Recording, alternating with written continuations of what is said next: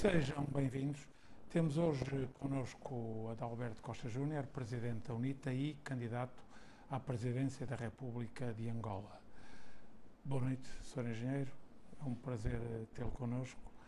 A primeira pergunta que lhe faria é como é que será o dia seguinte às eleições caso a UNITA ganhe as eleições? Muito boa noite, uh, boa noite a todos os telespectadores, uh, boa noite para quem nos acompanha em Angola, em Portugal e no mundo. Uh, agradeço o convite e a oportunidade que nos dão.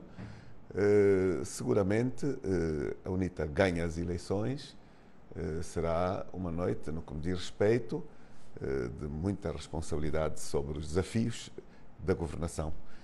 uma governação para a qual, devo dizer, nos preparamos mas uh, será também muito momento de muitas emoções, uh, indiscutivelmente, pelo que representará a primeira alternância do poder político em Angola e do quanto isso significa para todos, todos nós e para muitos angolanos.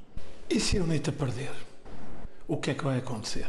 É normal que se possa perder quando as regras democráticas são todas garantidas. E, portanto, eh, nós estamos a trabalhar eh, de forma muito forte e o dia de hoje eh, fez voz dessa questão. Nós hoje tínhamos dedicado o dia para uma manifestação nacional em prol da legalidade, em prol do direito, em prol de eleições livres, justas e democráticas, na medida em que nós estamos a viver um processo agora já eleitoral, antes era um processo pré-eleitoral, absolutamente antidemocrático, absolutamente eivado de violações à lei, violações ao direito.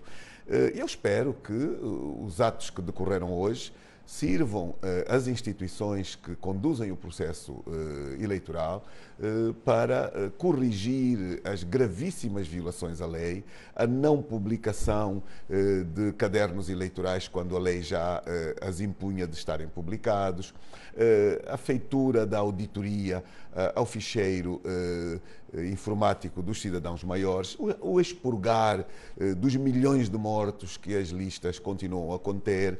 Portanto, nós temos um processo eh, que tem sido acompanhado por nós com o detalhe da proximidade.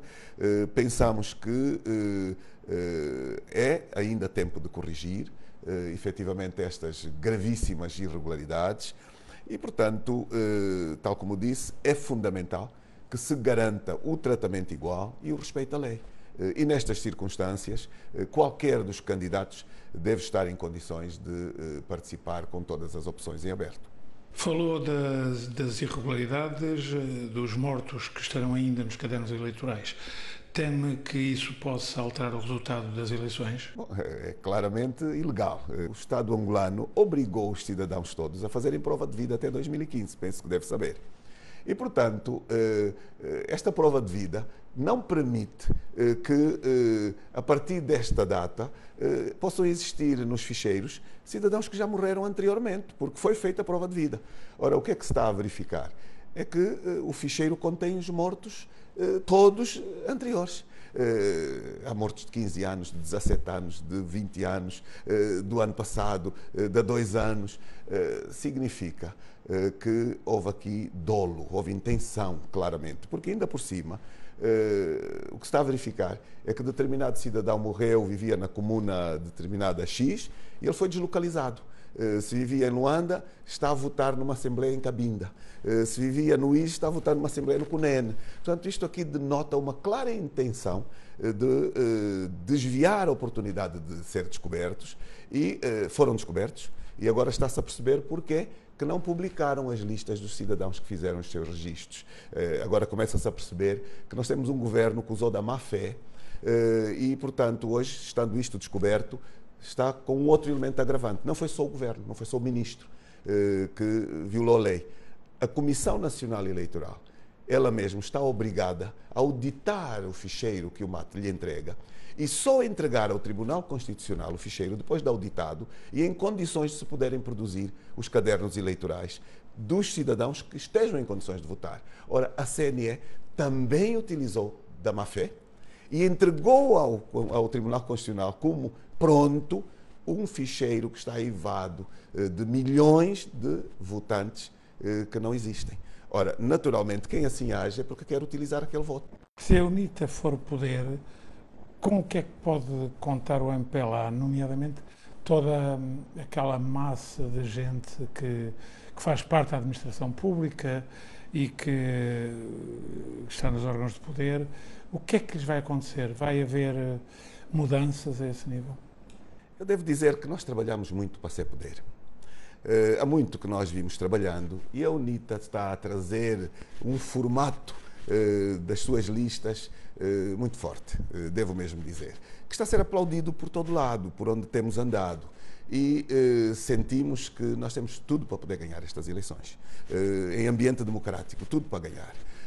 e cito-lhe aqui, nas listas da UNITA está expressa a ampla frente democrática para a alternância que foi eh, efetivamente aquilo que nós levamos como proposta eh, estratégica ao Congresso, que nos elegeu a primeira e a segunda vez. Eh, a UNITA tem nas listas da UNITA membros de outros partidos, eh, membros do partido do Prajá, eh, do projeto para já servir Angola, membros do Bloco Democrático, membros da sociedade civil eh, e temos uma negociação transversal no seio da sociedade angolana. O que é que isto significa? Significa definitivamente uma ruptura com o Partido Único. Eh, nós claramente vamos governar Angola eh, com um novo sistema político, claramente. Porque eh, já as nossas listas demonstram a pluralidade dos aspectos. Nós não temos nenhum problema em trabalhar entre diferentes, a nenhum nível. Porque a diferença enriquece até. O debate contraditório é aquilo que traz a pluralidade democrática, que não se cumpre, como Vossas Excelências bem sabem, que outro dos grandes problemas que nós temos é que fizemos toda a pré-campanha estamos a fazer a campanha em um ambiente de censura extrema na comunicação social pública. O presidente da UNITA, que vos fala que é candidato, nunca foi entrevistado por nenhum órgão público de comunicação social em Angola. Portanto, o MPLA mostra-se incompetente para continuar a governar em todos os aspectos. Eh, incapaz, incompetente, eh, e com medo da perda do poder, dividido entre si próprio. E, portanto, nós, eh, de alguma maneira, devo mesmo dizer, temos visto alguma facilitação vinda do próprio MPLA em relação a um posicionamento das eleições. Motivo: nós estamos em campanha eleitoral. O candidato do partido de regime não faz balanços, está a fazer só promessas, não tem balanços positivos. Limita-se a prometer. Não é mais a altura de promessas, é a altura de dizer eu fiz isto, eu fiz aquilo, eu fiz aquilo outro e de garantir, enquanto veste o papel de Presidente da República, o tratamento igual. Não tem capacidade de fazer. Os comícios do seu partido são transmitidos todos em direto. Eh, os telejornais têm 90% do tempo a fazer propaganda do partido de regime, mesmo em tempo de campanha eleitoral. Olha, eu dou-lhe um exemplo. Eu ontem estava aqui com um grupo de estrangeiros, cidadãos, eh, que me pediram uma audiência e vimos os tempos de antena. Assim que terminou o tempo de antena, propaganda do MPLA. E um deles disse: o tempo de antena terminou. Como é que continuam com a propaganda? Foi um exemplo. Começou o telejornal, passou três vezes o mesmo texto do candidato do MPLA no mesmo telejornal. Portanto, nós estamos a viver efetivamente uma demonstração de que Angola precisa de mudar, eh, precisa de um novo governo, de uma liderança democrática, verdadeiramente democrática, capaz de levar este país a, a níveis de, de, liberdade que não tem, de democracia que não tem, de pluralidade que o MPLA não consegue garantir eh, e que, portanto, eh, estamos preparados efetivamente para, com muita tranquilidade, eh, podermos negociar uma transição que temos, temos vindo a tentar fazer isso. Eu devo dizer-lhe que, enquanto Presidente da UNITA, eu tenho procurado todas as estruturas de liderança do MPLA, no sentido de eh, podermos abordar eh, a aproximação das eleições e o pós-eleições num ambiente de absoluta calma, de absoluta paz, de absoluta tranquilidade. Já estabeleceu contactos para essa Várias vezes, transição. tenho tido encontros, vários, de minha iniciativa. Devo dizer que de iniciativa do MPLA houve um eh, positivo, devo dizer, porque foi na sequência do meu desafio a necessidade de negociarmos a transição, eh, porque, de facto, eh, nós defendemos a continuidade do Estado com muita tranquilidade, os funcionários públicos, os membros da polícia, do exército, dos serviços de inteligência, são forças republicanas. E, portanto, devem sentir que devem respeito à Constituição e, e à República. E, portanto, não devem temer coisa nenhuma. Eh, é absolutamente normal haver alternâncias políticas eh, eh, nos países e as democracias também conferem essa realidade. Angola nunca teve nenhuma alternância, por isso é que tem muitos problemas a este nível. Nós estamos preparados para uh, poder, com o voto popular, com a maturidade que os angolanos têm demonstrado, apesar de toda esta tentativa uh, de levar este processo com irregularidades, uh, nós temos os delegados de lista em quantidade de três vezes o necessário. Nós preparamos devidamente para fiscalizar estas eleições e nós temos o exemplo de dois ou três países africanos, vizinhos nossos, com o mesmo tipo de abordagem não democrática das eleições, onde houve alternâncias. E porquê? Porque houve uma diria, uma complementaridade entre os partidos e as comunidades. Houve uma intervenção grande das comunidades no controle do voto, na defesa do voto, na segurança do voto. E nós temos apelado, efetivamente, respeitando os limites que a lei impõe, eh, que as comunidades, no dia da votação, eh, estejam eh, ativas, envolvidas, atentas, que saiam das suas casas e que a distância que a lei permite eh, garantam que aquelas urnas não são levadas, não são roubadas e eh, façam a defesa do seu próprio futuro para uma Angola democrática.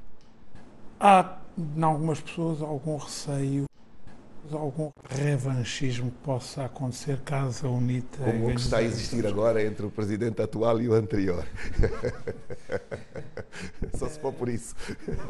O engenheiro Alberto tem dito uh, nos seus discursos que isso não irá acontecer caso a UNITA. De todo, não irá acontecer claramente. Quais são os planos concretos que a UNITA e a frente. Uh, que, que, integra a UNITA, no fundo, uh, tem para que isso de facto não aconteça? Vai me dar a oportunidade de falar um pouco do programa do governo da UNIT e do manifesto eleitoral, eh, que aqui está, que foi lançado exatamente, exatamente há uma semana atrás.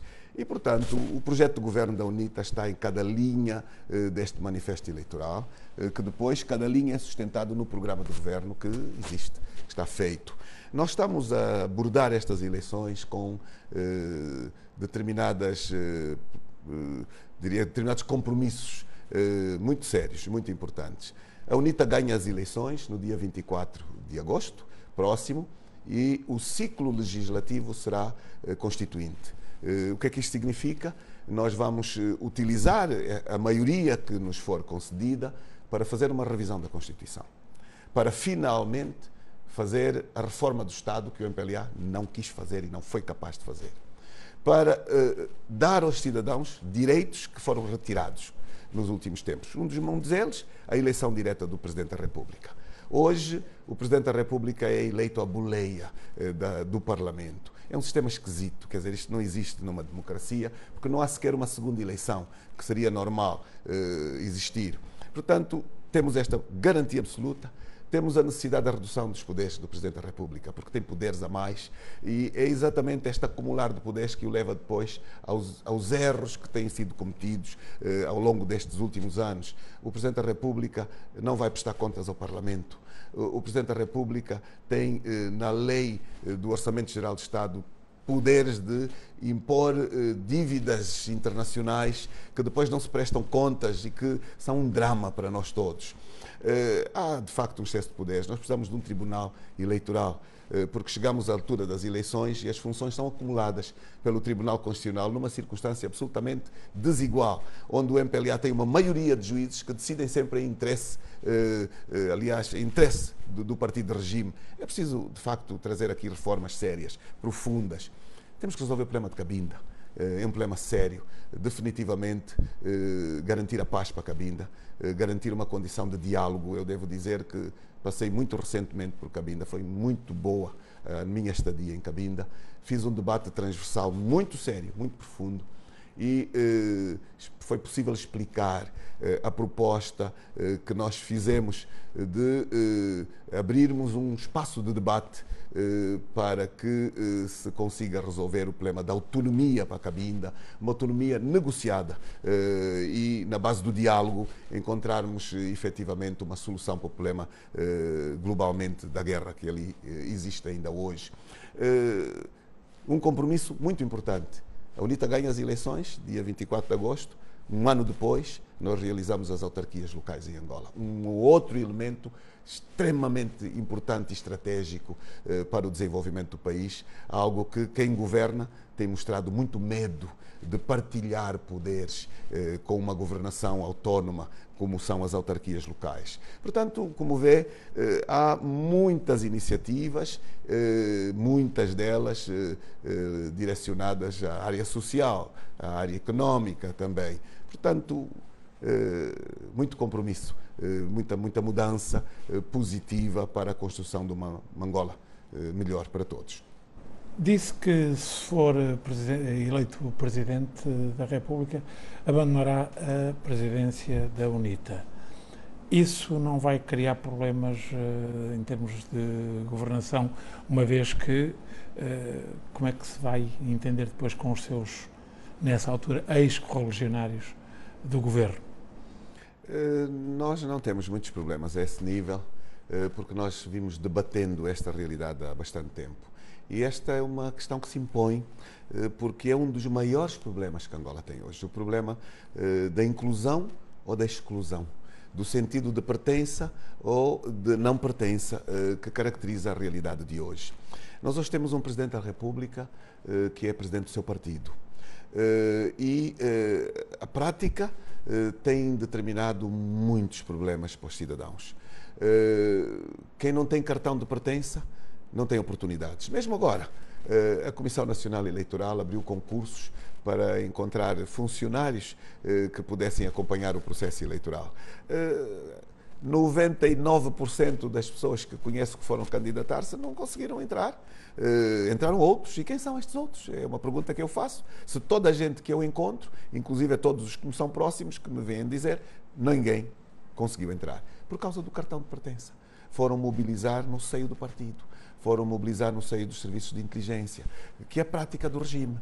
Eh, então, eh, é uma decisão definitiva eh, e os membros da UNITA não devem preocupar-se, pelo contrário, devem se sentir orgulhosos, porque o partido está maduro, porque vamos ter a oportunidade de ter efetivamente um Presidente da República que seja de facto Presidente de todos os angolanos e que se consiga elevar a um nível em que o Estado, o país, os angolanos estejam num plano de prioridade em relação ao seu partido. E, portanto, esta é uma garantia absoluta. Eu sou eleito presidente da República de Angola, eu suspendo a minha militância da UNITA.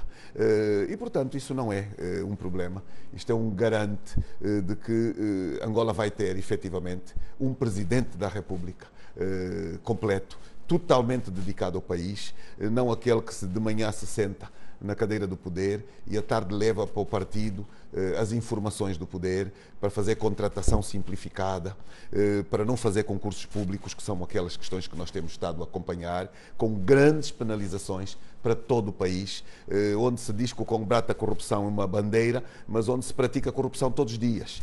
Porque eh, eu sou deputado, e eu faço parte, eh, no âmbito internacional, eh, de um conjunto de deputados eh, que se constituíram na especialização contra a corrupção. E este espaço contra a corrupção tem formação contínua.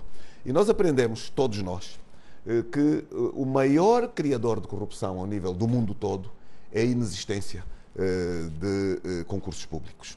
Significa os Estados que praticam eh, contratação sem concursos são os que mais promovem a corrupção. Nós, se formos para o caso de Angola e estudarmos todo o período de governação de João Lourenço, nós vamos perceber que João Lourenço governou incentivando a corrupção.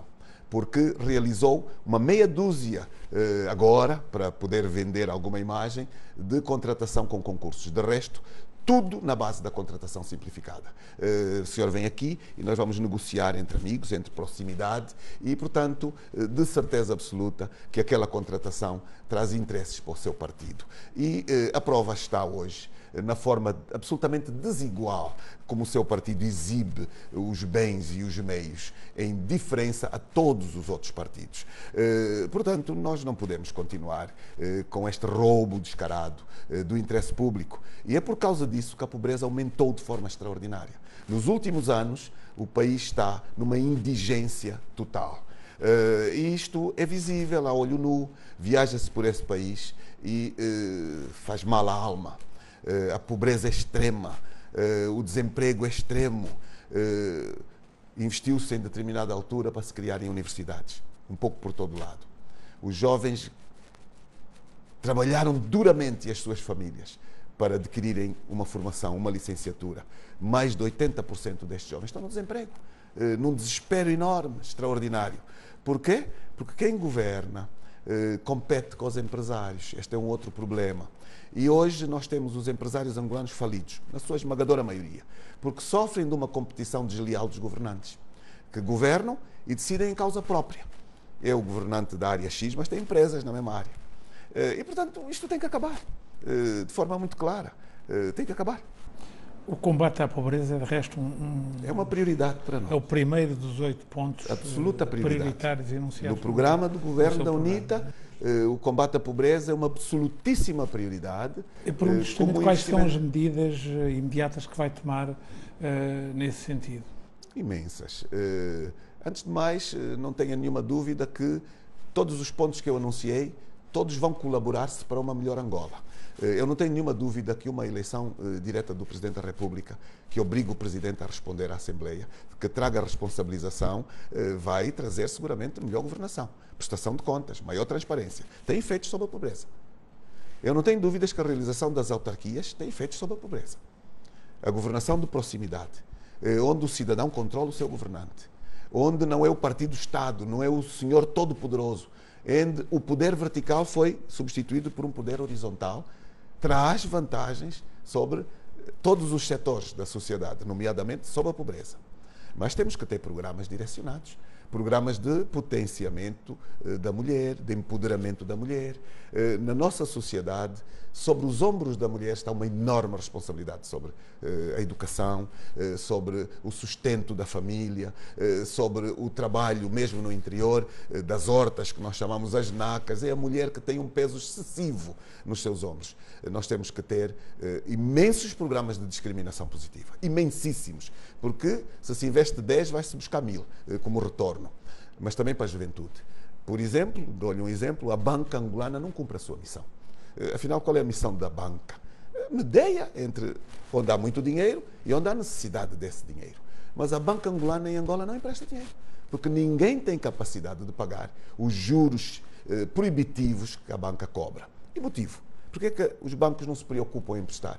Porque depois há um esquema em que emprestam ao Estado e vão buscar lucros brutais, enormíssimos, eh, onde depois, não cumprindo este papel de mediação, eh, não possibilitam soluções enormes, como, por exemplo, eh, a oportunidade de conceder juros bonificados para empréstimos de estudo, juros bonificados para habitação, juros bonificados para a criação de, de, de determinada empresa, juros às empresas que depois, no sistema atual, com os juros que existem, não têm capacidade de fazer retorno. Depois há um excesso fiscal este é um outro problema. Há muita empresa a falir porque o, excesso fiscal é excessivo, é demasiado. Porquê? Porque a economia de mercado não funciona.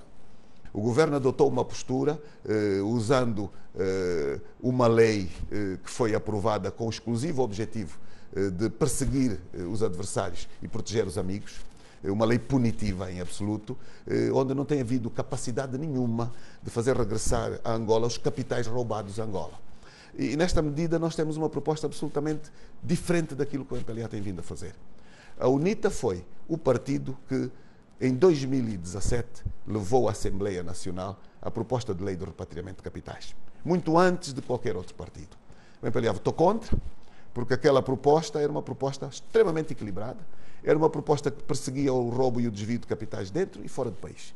Não perseguia só os dinheiros, perseguia também o património. Eh, que tivesse sido comprado. A mim foi-me dito, eu era presidente do grupo parlamentar, tirem o cavalo da chuva porque nós nunca vamos aprovar a vossa proposta. Nunca. E acabaram por aprovar eh, algo que não funciona.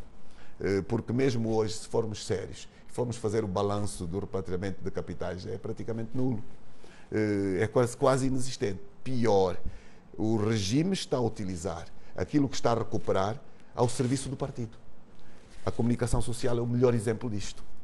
Foi-se buscar televisões que tinham sido ditas adquiridas através dos roubos, colocadas sob gestão pública na propaganda e do serviço ao partido, alinhadas completamente na falta de pluralismo. Portanto, são estas questões todas todas eh, estão à luz do dia, que o cidadão todo vê. Há conferências de imprensa regulares da sociedade a exigir pluralidade, a exigir contraditório, mas o governo não dialoga a estes níveis, faz propaganda institucional permanente. Portanto, precisamos de uma nova realidade. Imaginemos dois cenários eh, distintos. Um, no primeiro, a UNITA ganha as eleições, mas sem maioria absoluta. Estaria disposto a dividir o poder com o MPLA? Sabe, eh, um cenário de uma vitória eh, das eleições sem maioria absoluta significa um cenário em que o presidente de Angola é o presidente da UNITA.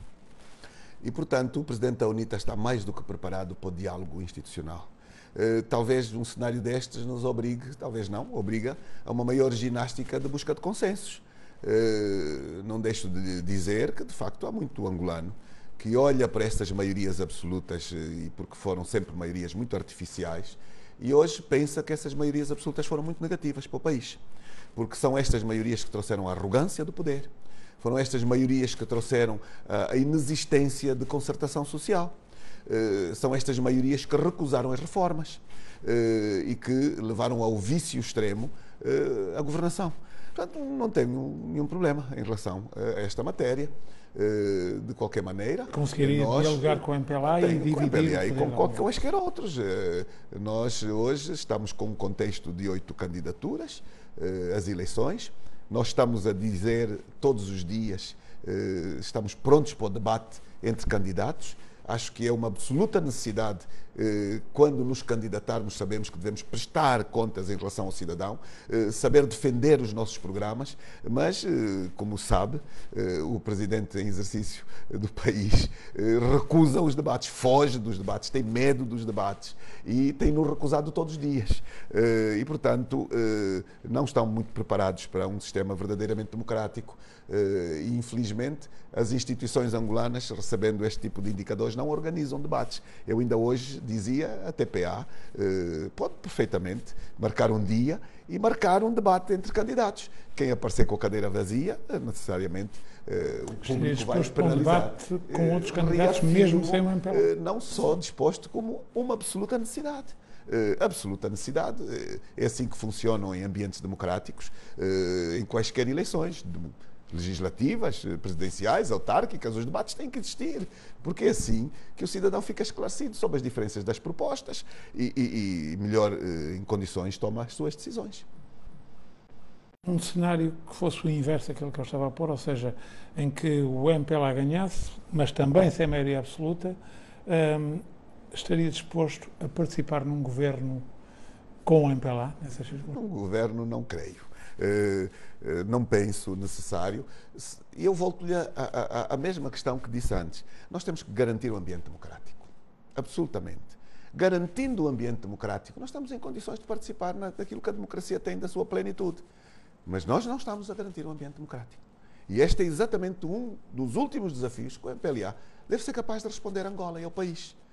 Eh, tragam para os carris da democracia o processo eleitoral tragam para os carris da democracia o processo das eleições. Não tenham medo do futuro.